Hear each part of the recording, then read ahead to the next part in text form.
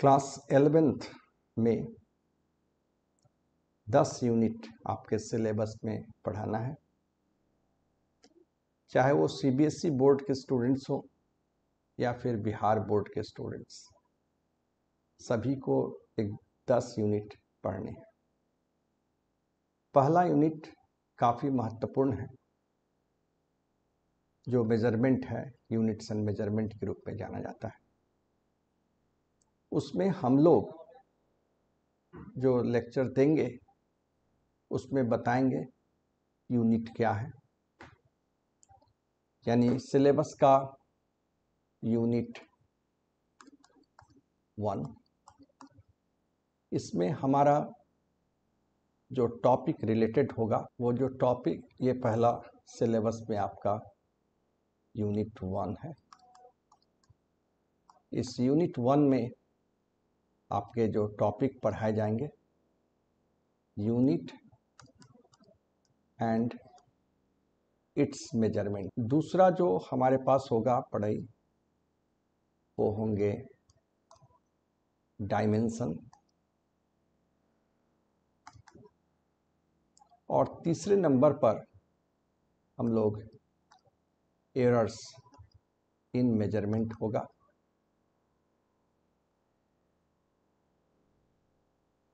जिसको experimental physics के रूप में भी हम लोग जानते हैं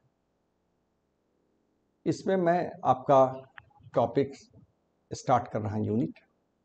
पूरे एलेवन ट्वेल्व पूरे कोर्सेज का एक फंडामेंटल है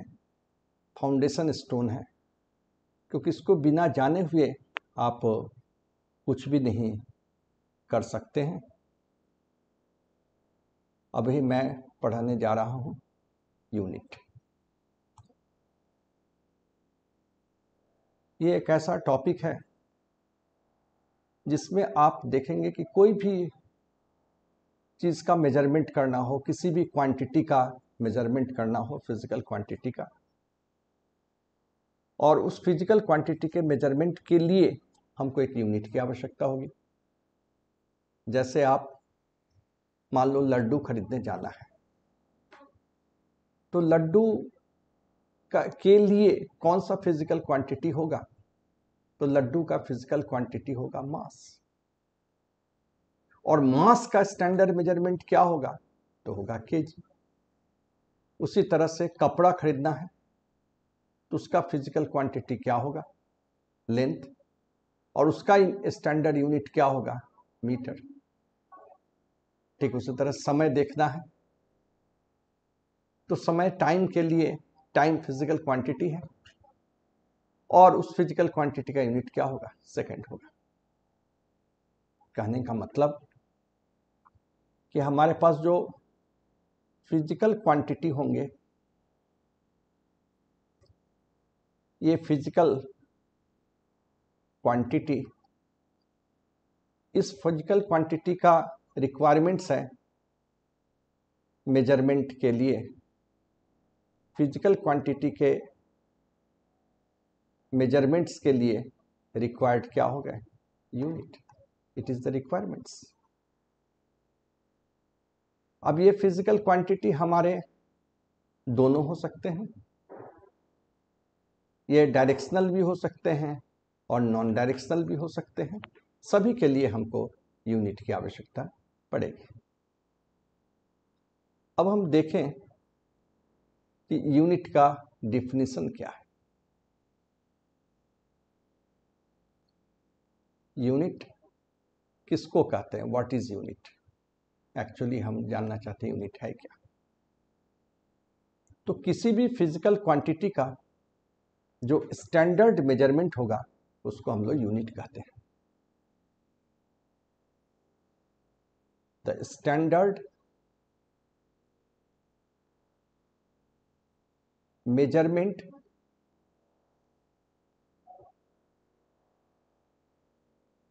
of a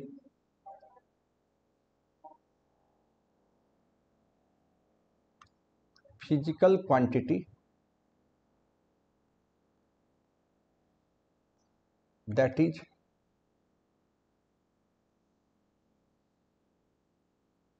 is quantity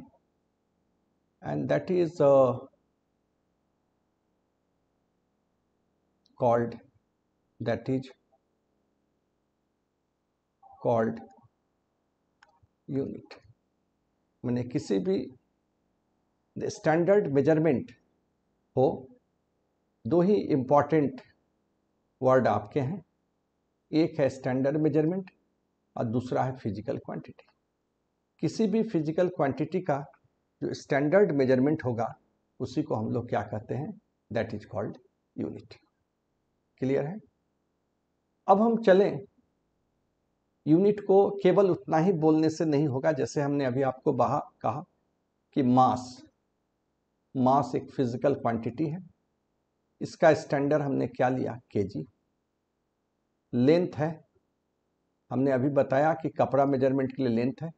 इसका मीटर है टाइम भी फिजिकल क्वांटिटी है इसका क्या मैंने लिया it is your second current है तो करंट के लिए हम क्या लेंगे एम्पियर ले लेंगे यानी कहने का मतलब जितना भी फिजिकल क्वांटिटी है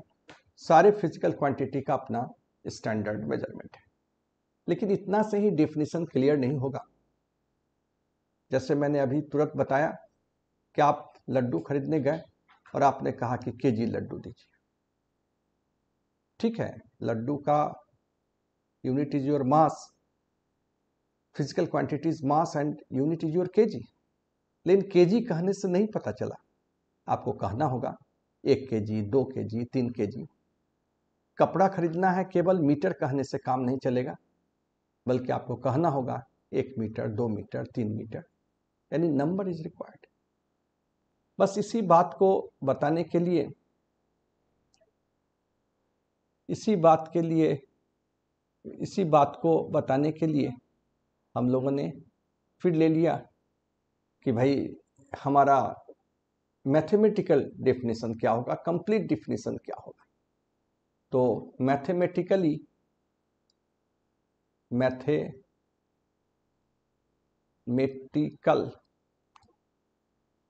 mathematically expressed as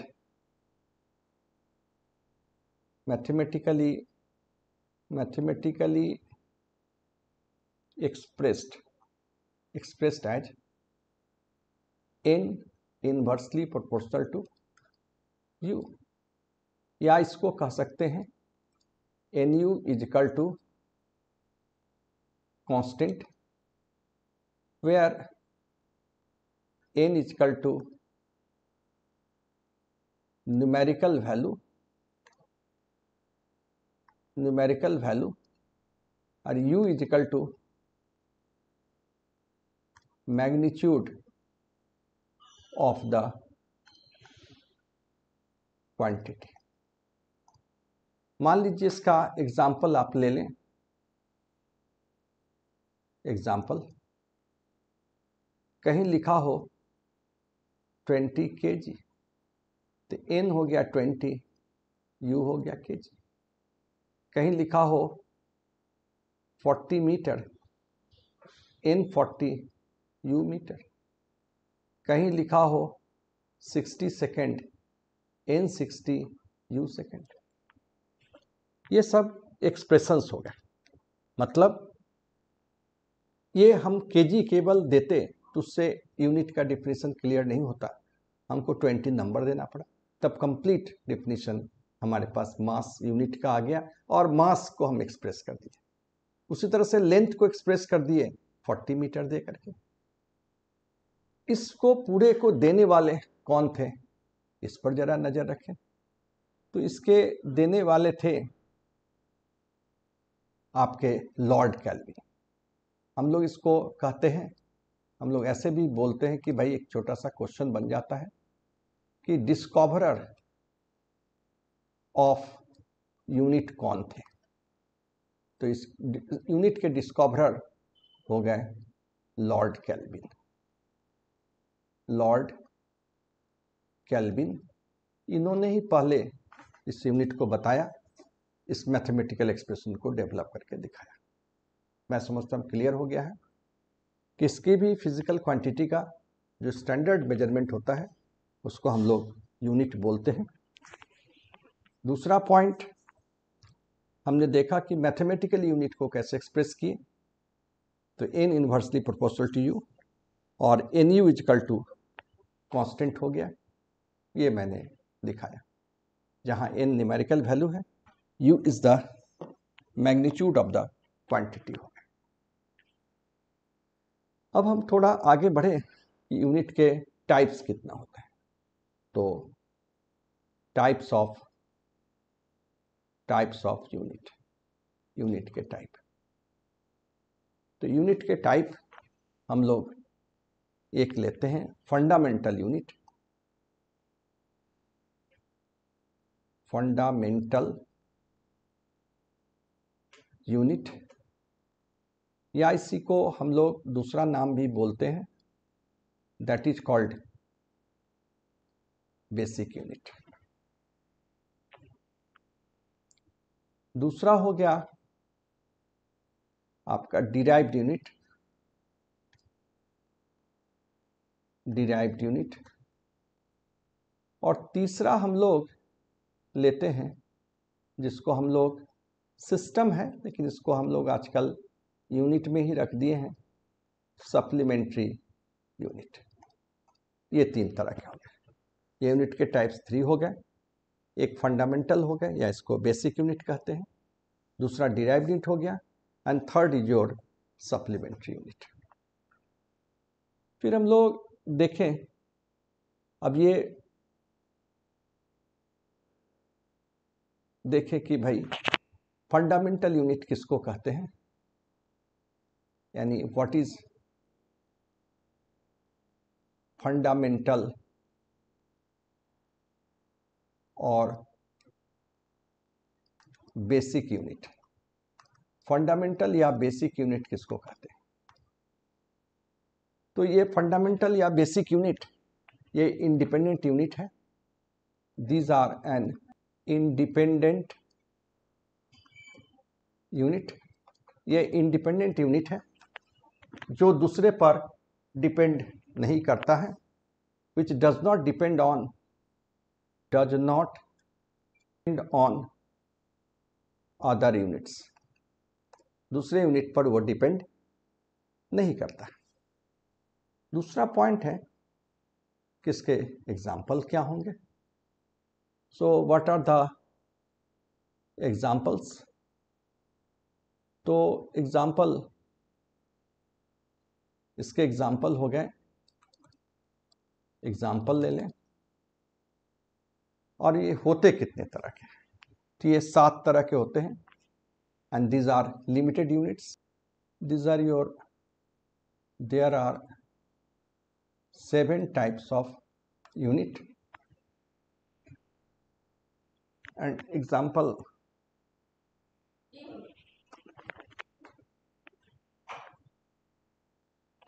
there are seven types of unit and their examples are mass second length third time thermodynamic temperature fifth luminous intensity sixth current and seventh is amount of substance mass ke liye hum log kg de length ke liye meter second kelvin candela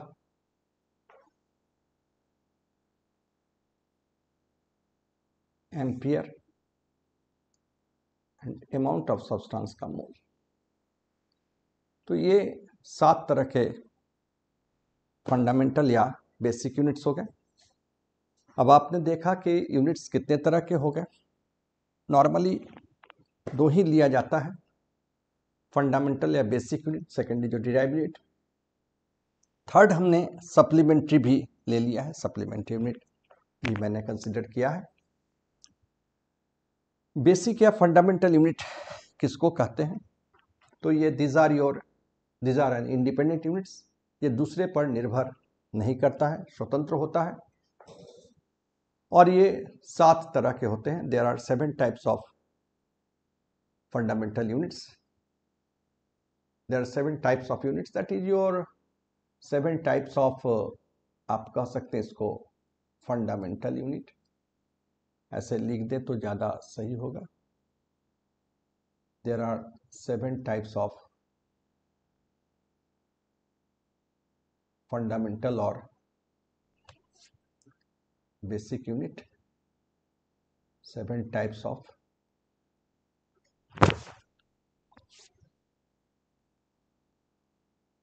fundamental unit there are seven types of fundamental unit. Their examples are mass, length, time, thermodynamic temperature, luminous intensity, current and amount of substance. Mass के लिए kg होता है length के लिए meter, time के लिए second, temperature के लिए Kelvin, luminous intensity candela, current ampere and amount of substance का मोल अब हम लोग चलें देखें कि डिराइव यूनिट किसको कहते हैं हम लोग अब डिराइव यूनिट पर आप डिराइव यूनिट ये डिराइव यूनिट ये डिपेंडेंट यूनिट है these are these are a eh, eh, these are dependent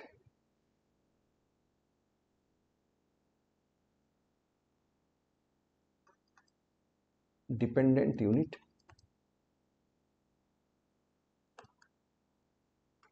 which depend on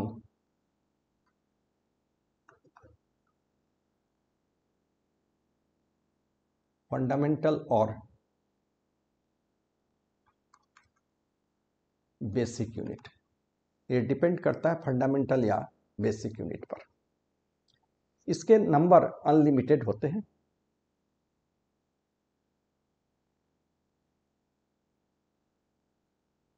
are an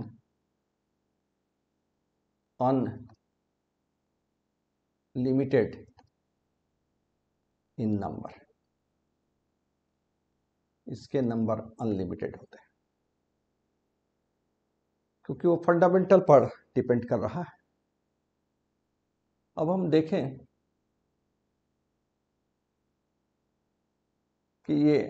होते कितने हैं इसके एग्जाम्पल्स अब देखें इसका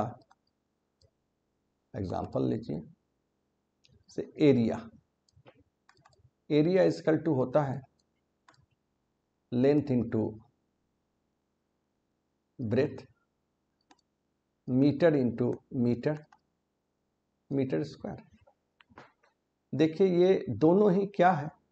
ये मीटर मीटर लेंथ ब्रेथ दोनों बेसिक यूनिट पर डिपेंड कर रहा है डिराइवनेट एरिया हो ठीक उसी तरह से आप लें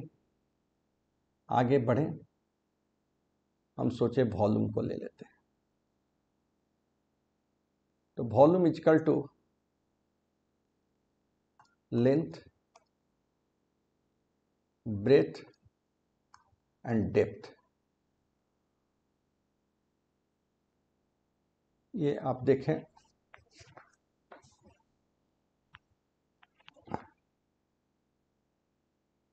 ये देखिए फिर हम लोग लेते हैं डेप्थ फिर अगर आप ध्यान से देखें तो लेंथ का मीटर ब्रेथ का भी मीटर और डेप्थ का भी मीटर है it is your what meter cube ये सब डिराइव डिट हो गए फिर अगर आप देखें दूसरे टर्मिनोलॉजी को देखें तो फिर आप देखें डेंसिटी अगर आप डेंसिटी इजकल टू होता है मास वॉल्यूम के जी बाई मीटर क्यूब के जी पर मीटर क्यूब ये डेंसिटी हो गया यहाँ आप देख रहे हैं K G it is your fundamental meter it is your fundamental and it is what it is your K G पर मीटर क्यूब आप ऐसे लिख सकते हैं के जी पर मीटर क्यूब ये इसका मीटर ठीक इसी तरह से अगर कोई स्टूडेंट लिखे वेलोसिटी ये भी डिराइव यूनिट है दिस इज योर पल इसको जानना होगा डिस्प्लेसमेंट बाय टाइम यानी meter by second so it is your meter per second इसी तरह से हम लोग बहुत सारे डिराइव यूनिट्स को चेक करेंगे देख सकते हैं मैं समझता हूँ आपका क्लियर हो गया है कॉन्सेप्ट हमने आज स्टार्ट किया एलेवेंथ क्लास की पढ़ाई आपका शुरू हुआ इसमें दस यूनिट आपके सिलेबस में पढ़ाने हैं उसमें जो पहला यूनिट है वो फर्स्ट यूनिट आपने पढ़ा यूनिट एंड मेजरमेंट है उसमें मैंने यूनिट स्टार्ट किया यूनिट के डेफिनेशन को बताया कि किसी भी फंडामेंटल किसी भी फिजिकल क्वांटिटी का जो स्टैंडर्ड मेजरमेंट होता है उसको यूनिट कहते हैं फिजिकल क्वांटिटी जिसका एग्जिस्टेंस हो जिसका मेजरमेंट किया जा सके वो फिजिकल क्वांटिटी है फिर हम लोग देखें कि अब मान लो फिजिकल क्वांटिटी मास है तो मास का के है लेंथ का मीटर है टाइम का सेकेंड है लेकिन केवल के कहने से काम नहीं चल रहा है दो के जी चार के जी पाँच के जी लेंथ में कितना मीटर तीन मीटर चार मीटर पाँच मीटर टाइम में कितना सेकेंड तीस सेकेंड बीस सेकेंड साठ सेकेंड ये सारा टर्म हमको जरूरत पड़ा अब हम लोगों ने ले लिया इसके बाद हम आगे फिर आगे बढ़े तो हमने देखा कि इसके यूनिट्स कैसे लेंगे फिर हम आए टाइप्स ऑफ यूनिट पर साथ में मैथमेटिकल एक्सप्रेशन लिए यूनिट को मैथमेटिकली कैसे दिखाए तो n inversely proportional to u n u is equal to constant n numerical value u magnitude of the quantity हो गया इसके एग्जाम्पल लिए ट्वेंटी के जी थर्टी सेकेंड को दिखाए फिर हम लोग आए types of unit types of unit में हमने लिया बेसिक यूनिट या fundamental unit derive unit supplement unit जो फंडामेंटल यूनिट हुआ या basic unit these are an independent units और उसके एग्जाम्पल हमने सात दिखाया mass length time temperature luminous intensity current derive unit जो डिपेंडेंट है एरिया वेलोसिटी वॉल्यूम डेंसिटी ये सब दिखाए और फिर हमने दिखाया कि कैसे इसमें वर्क करता है हमारा फिर हम लोग आए जरा सप्लीमेंट्री यूनिट पर आए कि सप्लीमेंट्री यूनिट क्या है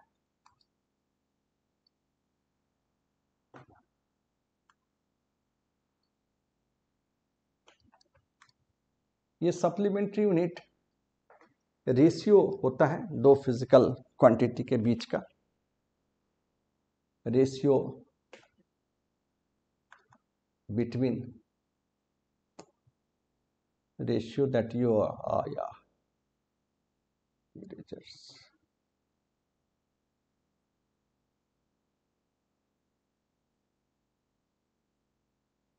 ratio between two like physical quantity ratio between two like physical quantity ये होते कितने तरह के हैं तो ये फिर आप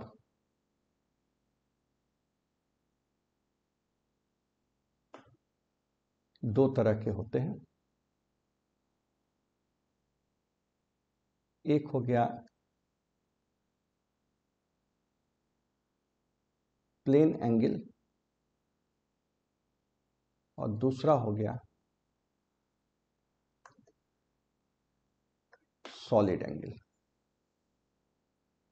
प्लेन एंगल को हम लोग लेते हैं प्लेन एंगल को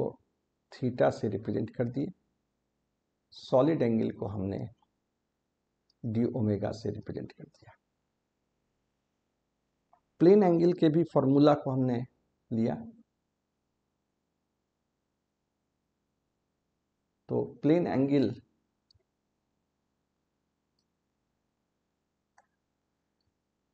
theta is equal to arc by radius इसको दिखाने के लिए आप थीटा लें ये आपके पास आर रेडियस हो गया ये आर्क हो गया एल तो आप बड़ा सिंपल सा डिफिनेशन पहले लिए थे theta is equal to l by r जो आप देख रहे हैं ठीक इसी तरह से आप देख रहे हैं सॉलिड एंगल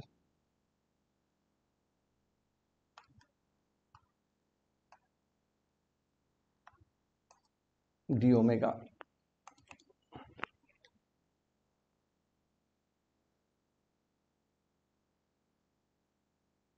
ये पोर्शन आपके पास हो गया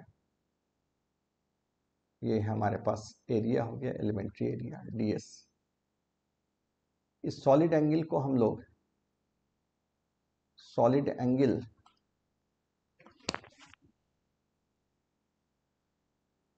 is also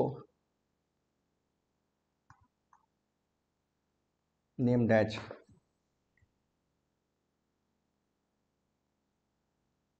angle of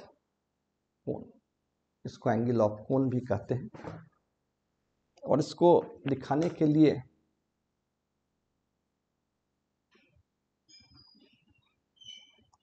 D omega is equal to लिखते हैं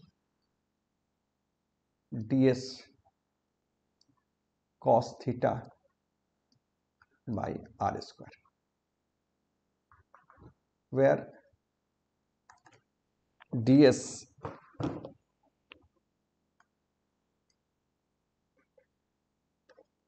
elementary surface area r is to radius of angle of cone का ये रेडियस है तो ये हम लोग यहाँ तक पहुँच गए स्टार्टिंग से हमने ये डिस्कशन किया तो अब जो हमने पढ़ाया इसको आप फिर से देख लें क्या क्या पढ़ाए तो हमने पढ़ाया कि यूनिट क्या है what is unit what is unit दूसरा मैंने दिया कि discoverer of unit who was the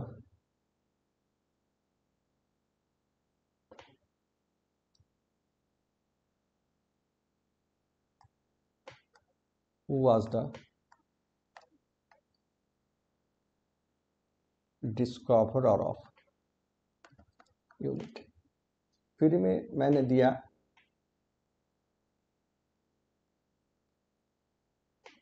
how many types of unit फिर मैंने बताया टाइप्स ऑफ यूनिट में डिफरेंस हमने लिया what is the difference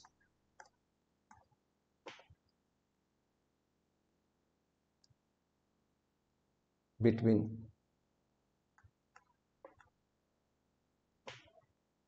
fundamental unit and derived unit ये मैंने दिया फिर हम लोग आगे बढ़े तो बताएं कि सप्लीमेंट्री यूनिट किसको कहते हैं what is supplementary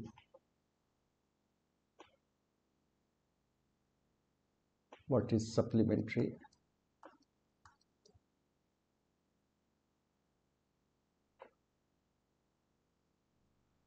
supplementary unit तो ये सारा हमने डिस्कशन आज किया है फर्स्ट लेक्चर्स मैं कई पार्ट में इसको दूंगा पहले यूनिट फिर हम लोग आएंगे सिस्टम पर टाइप्स ऑफ सिस्टम फिर इसके बाद